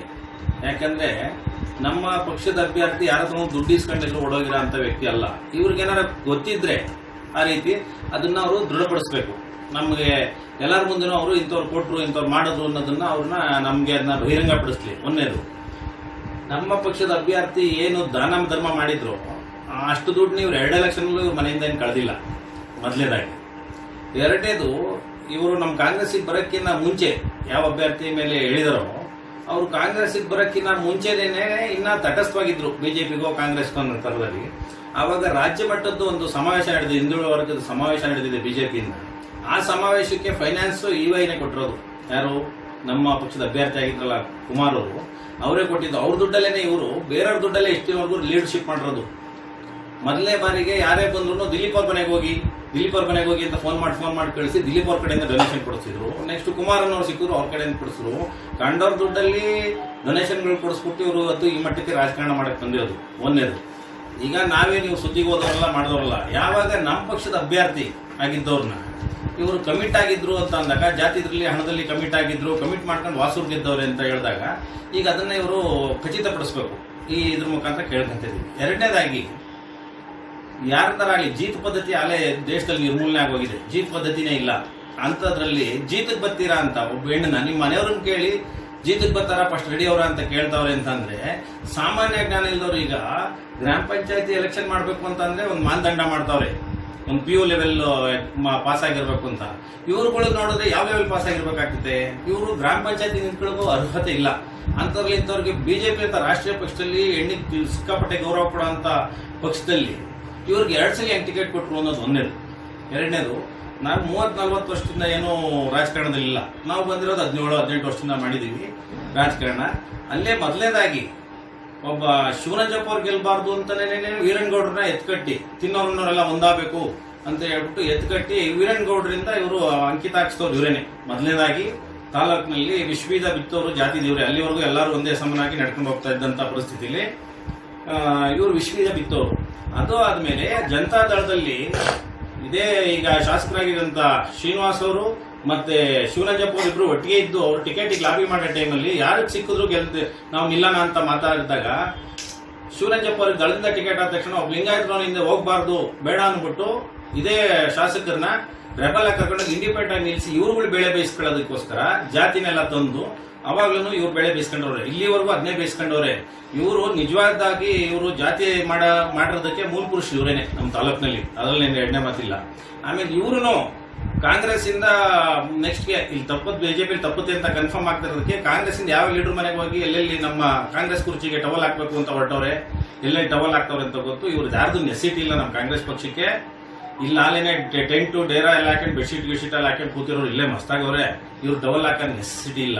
ಮೊದಲನೇದಾಗಿ ಈ ಜೀತ ಪದ್ಧತಿ ಬಗ್ಗೆ ಇವ್ರು ಮಾತಾಡೋರಲ್ಲ, ಅದನ್ನ ಫಸ್ಟ್ ಕಾನೂನು ರೀತಿ ಕ್ರಮ ಕೈಗೊಳ್ಬೇಕು. ದಯವಿಟ್ಟು ಇವ್ರ ಮೇಲೆ. ಯಾರೇ ಆಗಲಿ ಕಾನೂನು ರೀತಿ ಕ್ರಮ ಕೈಗೊಳ್ಬೇಕು. ಜೀತ ಕರೀತಾರಲ್ಲ ಇವರು, ಜೀತ ಪದ್ಧತಿ ಇದೆಯಾ ಈಗ್ಲೂ ಜೀತ ಪದ್ಧತಿ ಇಲ್ವಾ ಇದೆಯೋ ಇಲ್ವೋ ಅನ್ನೋದು ಕಾಮನ್ ಸೆನ್ಸ್ ಇಲ್ದಲ್ಲ ಇರೋಂಥ ಜನನ್ನ ಯಾವ ರೀತಿ ಜನ ಅಕ್ಸೆಪ್ಟ್ ಮಾಡಬೇಕು? ರಾಷ್ಟ್ರೀಯ ಪಕ್ಷದ ಅಭ್ಯರ್ಥಿನ ಅಂತ ಹೇಳಿದರೋ ಅದಕ್ಕೆ ಅವ್ರ ಹತ್ರ ಏನೋ ಪ್ರೂಫ್ ಇದ್ರೆ ತರಬೇಕು. ಒಂದೇದು. ಎರಡನೇದು, ಇದೇ ಇವರೇ ಒಬ್ರು ರಾಷ್ಟ್ರೀಯ ಪಕ್ಷದ ಅಭ್ಯರ್ಥಿಯಾಗಿ ಕಾಂಗ್ರೆಸ್ ಅಭ್ಯರ್ಥಿ ಪರ ರಾತ್ರಿ ಒಂದು ಗಂಟೆಯಲ್ಲಿ ಎಷ್ಟು ಲಕ್ಷ ದುಡ್ಡು ಹಂಚಿಸ್ರು, ಯಾವ ಪಂಚಾಯತ್ ಅಲ್ಲಿ ಹಂಚಿಸ್ರು ಅನ್ನೋದು ನಮ್ಮ ಹತ್ರ ಇದೆ ಮಾಹಿತಿ. ಇವರೊಬ್ಬ ರಾಷ್ಟ್ರೀಯ ಪಕ್ಷದ ಕ್ಯಾಂಡಿಡೇಟ್ ಆಗಿ ಇವ್ರ ಪಕ್ಷಕ್ಕೆ ಇವ್ರು ದುಡ್ಡು ಹಂಚ್ಕೋಬೇಕು. ಇಲ್ಲ ಕಾಂಗ್ರೆಸ್ ಪಕ್ಷದ ಕ್ಯಾಂಡಿಡೇಟ್ ದುಡ್ಡು ಹಂಚಿಸ್ಬೇಕು. ಅದು ಹಂಚಿರೋದಕ್ಕೆ ನಮ್ಮ ಹತ್ರನೇ ಸಾಕ್ಷ್ಯಾಧಾರಗಳಿವೆ. ಯಾರು ಯಾರು ಕೈಲಿ ಕೊಟ್ಟು ಕಳಿಸ್ರು ಯಾವ ಪಂಚಾಯತ್ ಹಂಚಿದ್ರು ಅಂತ. ಅದೇನೋ ಸತ್ಯ ಇಲ್ಲಿದ್ರೆ ಅವ್ರು ಬರಲಿ, ಈಚೆಗೆ ಬಂದು ಪ್ರೆಸ್ ಮೀಟ್ ಮಾಡೋ ಒಂದು ಹೇಳಿಕೆನ ಕೊಡ್ಲಿ. ಅದಕ್ಕೆ ನಾವು ಬಂದು ಸಾಕ್ಷಿ ಸಮೇತ ನಾವು ಕೂತ್ಕೊಂತೀವಿ. ಕಾಂಗ್ರೆಸ್ ಕ್ಯಾಂಡಿಡೇಟ್ ಪರವಾಗಿ ದುಡ್ಡು ಹಂಚಿರೋರು ಬಿಜೆಪಿ ಅಭ್ಯರ್ಥಿ. ಹಾಗಾಗಿ ಇವ್ರಿಗೆ ನೈತಿಕತೆ ಇಲ್ಲ. ಬೇರೆಯವ್ರ ವಿಷಯ ಮಾತಾಡೋದ್ರಲ್ಲಿ ನೈತಿಕತೆ ಇಲ್ಲ. ಇಂಥ ವ್ಯಕ್ತಿಗಳು ಆದಷ್ಟು ರಾಜಕೀಯದಿಂದ ದೂರ ಇದ್ರೆ ಬಹಳ ಒಳ್ಳೇದು. ತಾಲೂಕು ಕಾಂಗ್ರೆಸ್ ಪ್ರಚಾರ ಸಮಿತಿ ಅಧ್ಯಕ್ಷ ಸಲೀಂ ಪಾಷಾ ಮಾತನಾಡಿ, ಲಿಂಗಾಯತ ವಿರೋಧಿಯಾಗಿ ರಾಜಕಾರಣ ಆರಂಭಿಸಿದ ಬೆಟ್ಟಸ್ವಾಮಿ ಅವರು ಕ್ಷೇತ್ರದ ಸಮಸ್ಯೆಗಳ ಬಗ್ಗೆ ಎಂದಿಗೂ ತಲೆ ಕೆಡಿಸಿಕೊಳ್ಳಲ್ಲ ರಾಜ್ಯದಲ್ಲಿ ಬಿಜೆಪಿ ಸರ್ಕಾರವಿದೆ. ಕ್ಷೇತ್ರದಲ್ಲಿರುವ ಸಮಸ್ಯೆಗಳಿಗೆ ಸೂಕ್ತ ಪರಿಹಾರ ಕೊಂಡುಕೊಳ್ಳುವ ಕೆಲಸ ಮಾಡುವುದೇ ವೈಯಕ್ತಿಕ ವಿಷಯವನ್ನು ಮುಂದಿಟ್ಟು ಜನರಿಗೆ ಹತ್ತಿರವಾಗುವುದು ಕಷ್ಟ ಕೆಲಸ. ಸಾರ್ವಜನಿಕ ಹೋರಾಟದಂತ ಕೆಲಸ ಮಾಡಿದ ನಂತರ ಕಾಂಗ್ರೆಸ್ ಪಕ್ಷದ ಬಗ್ಗೆ ಮಾತನಾಡಿ ಎಂದು ಕಿಡಿಕಾಡಿದರು ಈ ಸಂದರ್ಭದಲ್ಲಿ ಅಲ್ಪಸಂಖ್ಯಾತರ ಘಟಕ ಅಧ್ಯಕ್ಷ ಮಹಮ್ಮದ್ ರಫಿ ಸಾಮಾಜಿಕ ಜಾಲತಾಣದ ಸಂಚಾಲಕಿ ವಸಂತಮ್ಮ ಮುಖಂಡರಾದ ಶಿವು ಸಂತೋಷ್ ಮಾರಯ್ಯ ರೂಪಾ ಇತರರು ಇದ್ದರು. ಕೊರಟಗೆರೆಯಲ್ಲಿ ಮಾಜಿ ಸಚಿವ ಡಾಕ್ಟರ್ ಜಿ ಪರಮೇಶ್ವರ್ ಅವರ ನಿವಾಸ ಹಾಗೂ ಶಿಕ್ಷಣ ಸಂಸ್ಥೆ ಮೇಲೆ ಐಟಿ ದಾಳಿ ನಡೆಸಿದ್ದನ್ನು ಖಂಡಿಸಿ ಕಾಂಗ್ರೆಸ್ ಕಾರ್ಯಕರ್ತರು ಪ್ರತಿಭಟಿಸಿದರು. ಕೊರಟಗೆರೆ ಶಾಸಕ ಹಾಗೂ ಮಾಜಿ ಉಪಮುಖ್ಯಮಂತ್ರಿ ಡಾಕ್ಟರ್ ಜಿ ಪರಮೇಶ್ವರ್ ಅವರ ಮನೆ ಹಾಗೂ ಶಿಕ್ಷಣ ಸಂಸ್ಥೆಗಳ ಮೇಲೆ ನಡೆದ ಹೈಟಿ ದಾಳಿ ಖಂಡಿಸಿ ಕೊರಟಗೆರೆಯಲ್ಲಿ ಬೃಹತ್ ಪ್ರತಿಭಟನಾ ರ್ಯಾಲಿಯನ್ನು ಹಮ್ಮಿಕೊಳ್ಳಲಾಗಿತ್ತು. ಕೊರಟಗೆರೆ ಪಟ್ಟಣದ ಕೆಎಸ್ಆರ್ಟಿಸಿ ಬಸ್ ನಿಲ್ದಾಣದಿಂದ ಹೊರಟು ತಹಶೀಲ್ದಾರ್ ಕಚೇರಿಯವರೆಗೆ ಮೆರವಣಿಗೆಯನ್ನು ಪ್ರತಿಭಟನಾಕಾರರು ಪ್ರಧಾನಿ ಮೋದಿ, ಕೇಂದ್ರ ಗೃಹ ಸಚಿವ ಅಮಿತ್ ಶಾ, ರಾಜ್ಯ ಸರ್ಕಾರಗಳ ವಿರುದ್ಧ ಘೋಷಣೆ ಕೂಗಿದರು. ಮುಂಬರುವ ಚುನಾವಣೆಗಳಲ್ಲಿ ಕಾಂಗ್ರೆಸ್ ನಾಯಕರ ಸ್ಥೈರ್ಯ ಕುಗ್ಗಿಸುವ ಕೇಂದ್ರ ಸರ್ಕಾರದ ಕುತಂತ್ರ ಇದಾಗಿದೆ ಎಂದು ಜಿಲ್ಲಾ ಕಾಂಗ್ರೆಸ್ ಅಧ್ಯಕ್ಷ ರಾಮಕೃಷ್ಣ ತಿಳಿಸಿದರು. ದಲಿತ ನಾಯಕನನ್ನು ಹಣಿಯುವ ಮೋದಿ ಮತ್ತು ಅಮಿತ್ ಶಾ ರವರ ಆಟ ರಾಜ್ಯದ ಜನತೆಗೆ ಈಗಾಗಲೇ ಗೊತ್ತಾಗಿದ್ದು, ನೆರೆ ಸಂತ್ರಸ್ತರ ವಿಚಾರದಲ್ಲಿ ಕೇಂದ್ರದ ನಿರ್ಲಕ್ಷ್ಯಕ್ಕೆ ರಾಜ್ಯದ ಮತದಾರರು ಸೂಕ್ತ ಉತ್ತರ ನೀಡಲಿದ್ದಾರೆ ಎಂದು ಬಹುತೇಕ ನಾಯಕರು ಅಭಿಪ್ರಾಯ ವ್ಯಕ್ತಪಡಿಸಿದರು. ತಹಶೀಲ್ದಾರ್ ಗೋವಿಂದರಾಜ್ ರವರಿಗೆ ಮನವಿ ಪತ್ರ ಅರ್ಪಿಸಲಾಯಿತು. ಈ ಸಂದರ್ಭದಲ್ಲಿ ಕಾಂಗ್ರೆಸ್ ವಕ್ತಾರ ವಿನಯ್ ಪಾಟೀಲ್, ಜಿಲ್ಲಾ ಪಂಚಾಯಿತಿ ಸದಸ್ಯ ನಾರಾಯಣ್ ಮೂರ್ತಿ, ಮುಖಂಡರುಗಳಾದ ಹರಕೆರೆ ಶಂಕರ್, ಎಡಿ ಬಲರಾಮಯ್ಯ ವಾಲ್ ಚಂದ್ರಯ್ಯ ವೆಂಕಟಪ್ಪ ಪ್ರಸನ್ನ ಕುಮಾರ್ ಮೊದಲಾದವರು ನೇತೃತ್ವ ವಹಿಸಿದ್ದರು. ತಿಪಟೂರಿನಲ್ಲಿ ಕಲ್ಪತರು ವಿದ್ಯಾಸಂಸ್ಥೆಯ ಸೆಂಟ್ರಲ್ ಶಾಲೆ ಹಾಗೂ ಕ್ರೀಡಾ ವಸತಿ ನಿಲಯದ ನೂತನ ಕಟ್ಟಡ ಇದೇ ತಿಂಗಳು ಹದಿನೆಂಟರಂದು ಲೋಕಾರ್ಪಣೆಯಾಗಲಿದೆ ಎಂದು ಸಂಸ್ಥೆ ಅಧ್ಯಕ್ಷ ಪಿಕೆ ತಿಪ್ಪೇರುದ್ರಪ್ಪ ಹೇಳಿದ್ದಾರೆ. ತಿಪಟೂರು ನಗರದ ಪ್ರತಿಷ್ಠಿತ ಕಲ್ಪತರು ವಿದ್ಯಾಸಂಸ್ಥೆಯ ಸೆಂಟ್ರಲ್ ಶಾಲೆ ಹಾಗೂ ಕ್ರೀಡಾ ವಸತಿ ನಿಲಯಗಳ ನೂತನ ಕಟ್ಟಡವನ್ನು ಅಕ್ಟೋಬರ್ ಹದಿನೆಂಟರಂದು ಉದ್ಘಾಟನೆ ಮಾಡಲಾಗುವುದು ಎಂದು ಕಲ್ಪತರು ವಿದ್ಯಾಸಂಸ್ಥೆಯ ಅಧ್ಯಕ್ಷ ಪಿಕೆ ತಿಪ್ಪೇರುದ್ರಪ್ಪ ತಿಳಿಸಿದರು. ಸುದ್ದಿಗೋಷ್ಠಿಯಲ್ಲಿ ಮಾಹಿತಿ ನೀಡುತ್ತಾ ಕಳೆದ ಹಲವಾರು ದಶಕಗಳಿಂದ ಗ್ರಾಮೀಣ ಭಾಗದ ವಿದ್ಯಾರ್ಥಿಗಳು ಪೋಷಕರ ಮೆಚ್ಚುಗೆಗೆ ಕಾರಣವಾಗಿರುವ ಪ್ರತಿಷ್ಠಿತ ವಿದ್ಯಾಸಂಸ್ಥೆಯಾದ ಕಲ್ಪತರು ವಿದ್ಯಾಸಂಸ್ಥೆಯು ಲಕ್ಷಾಂತರ ಮಂದಿ ವಿದ್ಯಾರ್ಜನೆ ಸಹಕಾರಿಯಾಗಿದೆ. ಸಂಸ್ಥೆಯು ಇತ್ತೀಚಿನ ದಿನಗಳಲ್ಲಿ ಅಗತ್ಯಗಳಿಗೆ ಅನುಗುಣವಾಗಿ ತಮ್ಮ ಆಶ್ರಯದಲ್ಲಿ ಹಲವು ಶಾಲೆಗಳನ್ನು ತೆರೆದಿದೆ. ಕಲ್ಪತರು ಸೆಂಟ್ರಲ್ ಶಾಲೆಯು ನಗರದ ವಿದ್ಯಾರ್ಥಿಗಳಿಗೆ ಗುಣಮಟ್ಟದ ಶಿಕ್ಷಣವನ್ನು ಸ್ಥಳೀಯ ಮಟ್ಟದಲ್ಲಿ ನೀಡುವ ಉದ್ದೇಶದಿಂದ ಪ್ರಾರಂಭಿಸಿದ್ದು, ಅದಕ್ಕೆ ಅನುಕೂಲವಾಗುವಂತೆ ನೂತನ ಕಟ್ಟಡವನ್ನು ಕಟ್ಟಲಾಗಿದ್ದು, ಅತ್ಯಾಧುನಿಕವಾಗಿ ನಿರ್ಮಾಣವನ್ನು ಮಾಡಲಾಗಿದೆ. ಜೊತೆಗೆ ಕಲ್ಪತರು ವಿಜ್ಞಾನ ಪ್ರಥಮ ದರ್ಜೆ ಕಾಲೇಜಿನ ಯುಜಿಸಿಯ ಹನ್ನೆರಡನೇ ಯೋಜನೆಯ ಅನುದಾನದ ಅಡಿಯಲ್ಲಿ ಸುಮಾರು ಐವತ್ತು ಹಾಸಿಗೆಗಳ ಕ್ರೀಡಾ ವಸತಿ ನಿಲಯ ಹಾಗೂ ಕ್ರೀಡಾ ಗ್ಯಾಲರಿಯನ್ನು ನಿರ್ಮಾಣ ಮಾಡಲಾಗಿದೆ. ಇವುಗಳ ಉದ್ಘಾಟನೆಯನ್ನು ನೆರವೇರಿಸಲು ಕಾನೂನು, ಸಂಸದೀಯ ವ್ಯವಹಾರ ಮತ್ತು ಸಣ್ಣ ನೀರಾವರಿ ಸಚಿವ ಜೆಸಿ ಮಾಧುಸ್ವಾಮಿ, ಪ್ರಾಥಮಿಕ ಮತ್ತು ಪ್ರೌಢಶಿಕ್ಷಣ ಸಚಿವ ಎಸ್ ಸುರೇಶ್ ಕುಮಾರ್, ಸಂಸದ ಜಿಎಸ್ ಬಸವರಾಜು ನೆರವೇರಿಸಲಿದ್ದಾರೆ ಎಂದರು. ಇನ್ನು ಈ ಕಾರ್ಯಕ್ರಮದ ಮುಖ್ಯ ಅತಿಥಿಗಳಾಗಿ ಶಾಸಕ ಬಿಸಿ ನಾಗೇಶ್, ಶಾಸಕ ಜ್ಯೋತಿ ಗಣೇಶ್, ತುರುವೇಕೆರೆ ಶಾಸಕ ಜಯರಾಮ್ ಮಾಜಿ ಶಾಸಕ ಕೆ ಷಡಾಕ್ಷರಿ ಬಿ ನಾಂಜಾಮರಿ ಭಾಗವಹಿಸಲಿದ್ದಾರೆ ಎಂದು ತಿಳಿಸಿದರು.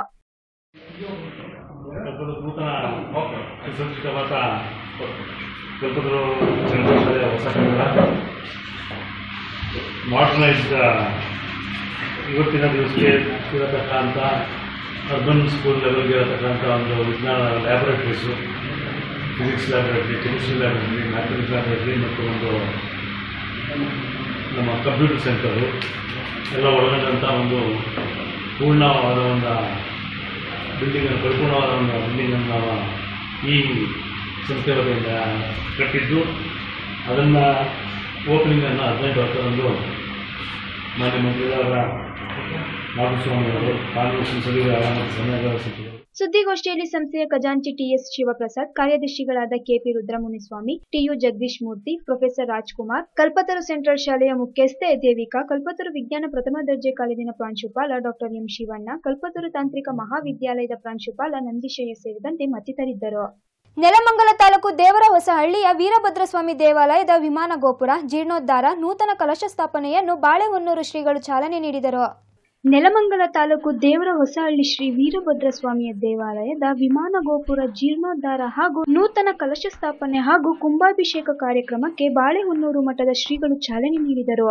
ಕಳಸ ಸ್ಥಾಪನೆಯ ನಂತರ ಮಾತನಾಡಿದ ಶ್ರೀಗಳು, ಇಂದು ಇತಿಹಾಸ ಪ್ರಸಿದ್ಧ ದೇವರ ಹೊಸಳ್ಳಿ ವೀರಭದ್ರ ಸ್ವಾಮಿಯ ಕಳಸ ಸ್ಥಾಪನೆ ಹಾಗೂ ಭಕ್ತಾದಿಗಳ ಪ್ರೀತಿ ಬಹಳ ಸಂತಸ ತಂದಿದೆ. ರಾಜಕೀಯವಾಗಿ ರಾಜ್ಯದ ಜನತೆ ಬಹುಮತಗಳಿಂದ ಬಿಜೆಪಿ ಪಕ್ಷವನ್ನು ಬೆಂಬಲಿಸಿದ್ದು ಯಡಿಯೂರಪ್ಪನವರನ್ನು ಮುಖ್ಯಮಂತ್ರಿ ಮಾಡುವಲ್ಲಿ ಯಶಸ್ವಿಯಾಗಿದ್ದಾರೆ. ಮುಖ್ಯಮಂತ್ರಿ ಪದವಿಯಿಂದ ಯಡಿಯೂರಪ್ಪನವರನ್ನು ಕೆಳಗಿಳಿಸುವ ತಪ್ಪು ನಿರ್ಧಾರವನ್ನು ಪಕ್ಷದ ಹೈಕಮಾಂಡ್ ಎಂದಿಗೂ ಮಾಡುವುದಿಲ್ಲ. ಒಂದು ವೇಳೆ ಯಡಿಯೂರಪ್ಪನವರನ್ನು ವಿರೋಧಿಗಳ ಕುತಂತ್ರದಿಂದ ಕೆಳಗಿಳಿಸಿದ್ದೇ ಆದಲ್ಲಿ ರಾಜ್ಯದಲ್ಲಿ ಬಿಜೆಪಿ ಬಹುಮತ ಗಳಿಸುವುದು ಅಸಾಧ್ಯದ ಮಾತು. ಕೆಳಗಿಳಿಸಿದ ಪಕ್ಷದಲ್ಲಿ ವೀರಶೈವ ಮುಖಂಡರಾದಿಯಾಗಿ ನಾವೆಲ್ಲರೂ ಹೋರಾಟಕ್ಕೆ ಸಿದ್ಧ ಎಂದರು.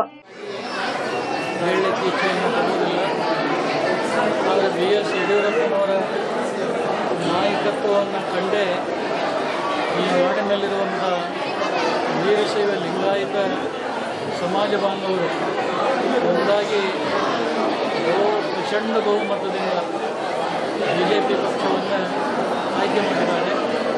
ಬಹುಶಃ ಅದಕ್ಕೇನಾದರೂ ವ್ಯತಿರಿಕ್ತವಾಗಿ ಬಿ ಜೆ ಪಿ ರಾಷ್ಟ್ರ ಮಟ್ಟದ ನಾಯಕರಾಗಲಿ ಅವರು ಏನಾದರೂ ಅವರಿಗೆ ತೊಂದರೆಯನ್ನು ಮಾಡಿದ್ದಾರೆ ಮುಂದಿನ ದಿನಗಳಲ್ಲಿ ಬಹುಶಃ ಪಕ್ಷ ಬಹಳಷ್ಟು ಆಘಾತಕ್ಕೆ ಒಳಗಾಗುವಂಥ ಸನ್ನಿವೇಶ ನಿರ್ಮಾಣಗೊಳ್ಬೋದು ಅದಕ್ಕೆ ಹಂತದಕ್ಕೆ ಬಹುಶಃ ರಾಷ್ಟ್ರೀಯ ನಾಯಕರು ಕೂಡ ಅವಕಾಶ ಕೊಡೋದಿಲ್ಲ. ಮತ್ತು ರಾಜಕೀಯ ರಾಜ್ಯದಲ್ಲಿರುವಂಥ ನಾಯಕರು ಕೂಡ ನಾಯಕತ್ವದಲ್ಲಿ ಬೆಳೆದ್ರೇ ರಾಜ್ಯಕ್ಕೆ ಉಜ್ವಲ ಭವಿಷ್ಯ ಇದೆ. ಪಕ್ಷಕ್ಕೂ ಕೂಡ ಹಿತ ಇದೆ. ಅವರನ್ನು ಏನಾದರೂ ಕಡೆಗಣಿಸಿ ಹೆಜ್ಜೆ ಇಡುವುದಾದರೆ ರಾಜ್ಯಕ್ಕೂ ಅನ್ಯಾಯ ಮೇಲಾಗಿ ಪಕ್ಷಕ್ಕೂ ಕೂಡ ಗೌರವ ಆದರೆ ಯಾವುದೇ ಸಂಶಯ ಇಲ್ಲ ಅಂತೇಳಿ ಸಂದರ್ಭದಲ್ಲಿ ಸ್ಪಷ್ಟವಾಗಿ ಹೇಳಬೇಕಾಗ್ತಾ ಇದೆ ನೂತನ ವಿಮಾನ ಗೋಪುರ ಜೀರ್ಣೋದ್ಧಾರ ಹಾಗೂ ಕುಂಭಾಭಿಷೇಕದ ಪ್ರಯುಕ್ತ ವೀರಭದ್ರ ಸ್ವಾಮಿಯವರಿಗೆ ಬಲಿದಾನ ಪೂಜಾ ಕಾರ್ಯಕ್ರಮವನ್ನು ಏರ್ಪಡಿಸಲಾಗಿತ್ತು. ಮಹಿಳೆಯರು ಪೂರ್ಣ ಕುಂಭ ಸ್ವಾಗತ ಮಾಡುವುದರ ಮೂಲಕ ಶ್ರೀಗಳನ್ನು ಬರಮಾಡಿಕೊಂಡರು. ಶ್ರೀಗಳಿಗೆ ಪಾದಪೂಜೆ ಏರ್ಪಡಿಸಿದರು. ಈ ಸಂದರ್ಭದಲ್ಲಿ ಹಲವಾರು ಭಕ್ತರು ಸ್ವಾಮಿಗಳ ಆಶೀರ್ವಾದ ಪಡೆದರು ಮತ್ತು ಬಂದಂತಹ ನೂರಾರು ಭಕ್ತಾದಿಗಳಿಗೆ ದೇವಾಲಯದ ಆಡಳಿತ ಮಂಡಳಿಯಿಂದ ಅನ್ನದಾಸೋಹವನ್ನು ಏರ್ಪಡಿಸಲಾಗಿತ್ತು. ಈ ಸಂದರ್ಭದಲ್ಲಿ ಮೆಲನಗವಿ ಮಠದ ಶ್ರೀಗಳು, ಯಡಿಯೂರು ಶ್ರೀಗಳು, ಚಿಕ್ಕನಾಯಕನಹಳ್ಳಿ ಮತ್ತು ಸಿದ್ದರಬೆಟ್ಟ ಶ್ರೀಗಳು ಸೇರಿದಂತೆ ದೇವಾಲಯದ ಪ್ರಧಾನ ಅರ್ಚಕ ಫಣಿಭೂಷಣ್, ಕಾರ್ಯನಿರ್ವಹಣಾಧಿಕಾರಿ ಚಂದ್ರಶೇಖರ್, ಪಾರು ಪತ್ತೇದಾರ್ ಶ್ರೀನಿವಾಸ್ ಪ್ರಭುದೇವ್ ಸೇರಿದಂತೆ ಸುತ್ತಮುತ್ತಲಿನ ನೂರಾರು ಭಕ್ತಾದಿಗಳು ಸೇರಿದಂತೆ ಟ್ರಸ್ಟ್ನ ಪದಾಧಿಕಾರಿಗಳು ಉಪಸ್ಥಿತರಿದ್ದರು. ದಕ್ಷಿಣ ಕಾಶಿ ಶಿವಗಂಗೆಯಲ್ಲಿ ಮೂರುವರೆ ಕೋಟಿ ರು ವೆಚ್ಚದಲ್ಲಿ ಆದಿಶಕ್ತಿ ಮರಿ ಹೊನ್ನಮ್ಮ ದೇವಿ ದೇವಸ್ಥಾನ ನಿರ್ಮಾಣಕ್ಕೆ ರಾಮನಗರ ಬಿಜೆಪಿ ಜಿಲ್ಲಾ ಅಧ್ಯಕ್ಷ ರುದ್ರೇಶ್ ಶಂಕುಸ್ಥಾಪನೆ ನೆರವೇರಿಸಿದರು. ದಕ್ಷಿಣ ಕಾಶಿ ಶಿವಗಂಗೆಯಲ್ಲಿ ಸುಮಾರು ಮೂರುವರೆ ಕೋಟಿ ವೆಚ್ಚದಲ್ಲಿ ಆದಿಶಕ್ತಿ ಮರಿ ಹೊನ್ನಮ್ಮ ದೇವಿಯ ದೇವಾಲಯ ನಿರ್ಮಾಣಕ್ಕೆ ಕೆಡಿಪಿ ಅಧ್ಯಕ್ಷ ಹಾಗೂ ರಾಮನಗರ ಬಿಜೆಪಿ ಜಿಲ್ಲಾಧ್ಯಕ್ಷ ಎಂ ರುದ್ರೇಶ್ ಶಂಕುಸ್ಥಾಪನೆ ನೆರವೇರಿಸಿದರು. ಶಂಕುಸ್ಥಾಪನೆಯ ನಂತರ ಮಾತನಾಡಿದ ರಾಜ್ಯ ಕೆಡಿಪಿ ಅಧ್ಯಕ್ಷ ಹಾಗೂ ರಾಮನಗರ ಬಿಜೆಪಿ ಜಿಲ್ಲಾಧ್ಯಕ್ಷ ಎಂ ರುದ್ರೇಶ್, ಶಿವಗಂಗೆಯ ಪುರಾಣ ಪ್ರಸಿದ್ಧ ಮರಿಹೊನ್ನಮ್ಮ ದೇವಿಗೆ ಸಾವಿರಾರು ಭಕ್ತಾದಿಗಳಿದ್ದಾರೆ. ಆದರೆ ದೇವಾಲಯದ ಕಟ್ಟಡ ಮಾತ್ರ ಶಿಥಿಲಾವಸ್ಥೆಯಲ್ಲಿದೆ ಈ ನಿಟ್ಟಿನಲ್ಲಿ ನಾವೆಲ್ಲರೂ ಕೈ ಜೋಡಿಸಿ ಸುಮಾರು ಮೂರುವರೆ ಕೋಟಿ ವೆಚ್ಚದಲ್ಲಿ ದೇವಾಲಯ ನಿರ್ಮಾಣ ಮಾಡಲು ಮುಂದಾಗಿದ್ದೇವೆ. ದೇವಾಲಯದ ಜೀರ್ಣೋದ್ಧಾರಕ್ಕೆ ಈಗಾಗಲೇ ಮುಖ್ಯಮಂತ್ರಿ ಯಡಿಯೂರಪ್ಪನವರ ಜೊತೆ ಮಾತನಾಡಿದ್ದೇವೆ. ಭಕ್ತಾದಿಗಳು ಸಹ ಹೆಚ್ಚಿನ ಸಂಖ್ಯೆಯಲ್ಲಿ ಕೈ ಜೋಡಿಸಬೇಕಿದೆ ಹಾಗೂ ಶಿವಗಂಗೆಯನ್ನು ಯಾತ್ರಾ ಸ್ಥಳ ಮಾಡಲು ಹಾಗೂ ವಳ್ಕಲ್ ತೀರ್ಥದವರೆಗೂ ಭಕ್ತಾದಿಗಳು ಸರಳವಾಗಿ ತಲುಪಲು ಈಗಾಗಲೇ ಪ್ರವಾಸೋದ್ಯಮ ಸಚಿವರಾದ ಶ್ರೀರಾಮನು ಹತ್ತಿರ ಮಾತನಾಡಿ, ಶಿವಗಂಗಾ ಬೆಟ್ಟವನ್ನು ಉತ್ತಮವಾದ ಪ್ರವಾಸಿಗರ ತಾಣವನ್ನಾಗಿ ಮಾಡಲು ಬಿಜೆಪಿ ಸರ್ಕಾರ ಎಲ್ಲ ರೀತಿಯ ಕ್ರಮ ಕೈಗೊಳ್ಳುತ್ತಿದ್ದೇವೆ ಎಂದರು. ಒಂದು ಜೀರ್ಣೋದ್ಧಾರ ಮಾಡಬೇಕು ಅಂತ ಎಲ್ಲ ಭಕ್ತಾದಿಗಳು ಸೇರ್ಕೊಂಡಿದ್ದೀವಿ. ಇವತ್ತು ಭೂಮಿ ಪೂಜೆ ಆಗಿದೆ. ಕೆಲವೇ ದಿನದಲ್ಲಿ ಈ ಒಂದು ದೇವಸ್ಥಾನನ ಜೀರ್ಣೋದ್ಧಾರ ಮಾಡಬೇಕು ಅಂತ ನಮ್ಮೆಲ್ಲರ ಒಂದು ಅಪೇಕ್ಷೆ. ಎಲ್ಲರೂ ಕೂಡ ಮಾಡ್ತೀವಿ. ಜೊತೆಗೆ ಈ ಭಕ್ತಾದಿಗಳೆಲ್ಲ ಕೈ ಜೋಡಿಸ್ಬೇಕು ಅನ್ನೋ ತಮ್ಮಲ್ಲಿ ತಮ್ಮ ಮೂಲಕ ಕೇಳ್ಕೊತೀವಿ. ಸರ್ ಎಷ್ಟು ಲಕ್ಷ ವೆಚ್ಚದಲ್ಲಿ ನಿರ್ಮಾಣ ಮಾಡೋ ಗುರಿ ಹೊಂದಿದ್ದೀವಿ ಇನ್ನೂ ನಾವು ಯೋಜನೆ ವೆಚ್ಚ ಮಾಡಿಲ್ಲ. ಸುಮಾರು ಮೂರು ಕೋಟಿಗೂ ಅಧಿಕವಾಗಿ ಇದು ಖರ್ಚಾಗ್ಬೋದು. ಅದನ್ನು ಭಕ್ತಾದಿಗಳು ಯಾವ ರೀತಿ ಅದು ಸಲಹೆ ತಗೊಂಡು ನಾವು ಒಂದು ಪ್ರಯತ್ನ ಮಾಡಿ ಸರ್ ಸರ್ಕಾರದ ಅನುದಾನ ಏನಾದರೂ ಸಿಗುತ್ತಾ? ಇಲ್ಲ ಭಕ್ತಾದಿಗಳ ಅನುದಾನ ಮಾತ್ರ ಈಗಾಗಲೇ ಸನ್ಮಾನ್ಯ ಮುಖ್ಯಮಂತ್ರಿಗಳಾದಂಥ ಯಡಿಯೂರಪ್ಪನವ್ರ ಗಮನಕ್ಕೂ ತಂದಿದ್ದೀವಿ. ಸರ್ಕಾರದಿಂದನೂ ಅನುದಾನ ಕೊಡ್ತೀನಿ ಅಂತ ಈಗಾಗಲೇ ಹೇಳಿದ್ದೀನಿ ಸರ್ ಶಿವಗಂಗೆನ ಯಾತ್ರಾ ಸ್ಥಳ ಮಾಡಬೇಕಂತ ಹೇಳ್ತಿದ್ದೀರಾ? ಶಿವಗಂಗೆದ ಈಗಾಗಲೇ ನಾನು ಪ್ರವಾಸೋದ್ಯಮ ಸಚಿವರು ಸಿ ಟಿ ರವಿ ಅವರ ಹತ್ರ ಮಾತಾಡಿದ್ದೀವಿ. ಈಗಾಗಲೇ ಪ್ರಸ್ತಾಪ ಆಗಿದೆ. ಇನ್ನೊಂದು ತಿಂಗಳಲ್ಲಿ ಕೂಡ ಈ ಒಂದು ಕ್ಷೇತ್ರಕ್ಕೆ ಭೇಟಿ ನೀಡೋಕ್ಕೆ ಒಪ್ಕೊಂಡಿದ್ದಾರೆ. ಈ ಒಂದು ಕ್ಷೇತ್ರದಲ್ಲಿ ಸುಸಜ್ಜಿತವಾಗಿ ಒಂದು ಬಸ್ ನಿಲ್ದಾಣ ಇಲ್ಲ ಶೌಚಾಲಯ ಶಂಕುಸ್ಥಾಪನೆ ಕಾರ್ಯಕ್ರಮದಲ್ಲಿ ವ್ಯವಸ್ಥಾಪನಾ ಸಮಿತಿಯ ಅಧ್ಯಕ್ಷ ರೇಣುಕೇಶ್ ಪದಾಧಿಕಾರಿಗಳಾದ ಯಡಿಯೂರಪ್ಪ ಹೊನ್ನಗಂಗಶೆಟ್ಟಿ ಕಾರ್ಯನಿರ್ವಹಣಾಧಿಕಾರಿ ಚಂದ್ರಶೇಖರ್ ಪಾರು ಪತ್ತೇದಾರ್ ಶ್ರೀನಿವಾಸ್ ಅರ್ಚಕ ನಾಗೇಶ್ ನಾಯಕ್ ಗಂಗಾಧರಯ್ಯ ಮಣಿಕಂಠ ಕಂಬಾಳು ಉಮೇಶ್ ಸೇರಿದಂತೆ ಟ್ರಸ್ಟ್ನ ಪದಾಧಿಕಾರಿಗಳು ಉಪಸ್ಥಿತರಿದ್ದರು. ಇಲ್ಲಿಗೆ ವಾರ್ತಾ ಪ್ರಸಾರ ಮುಕ್ತಾಯವಾಯಿತು. ಸ್ಥಳೀಯ ಸುದ್ದಿಗಳಲ್ಲಿ ಸದಾ ಮುಂದೆ ಈ ಡಿಜಿಟಲ್.